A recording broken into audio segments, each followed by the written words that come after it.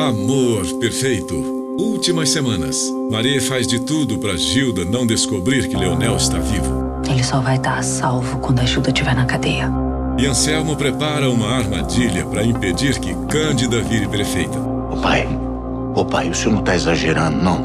Uma acusação como essa pode ser grave contra a mãe. Hoje, Eu vou ter que proceder à prisão da senhora imediatamente. Prisão? Prisão. amor perfeito.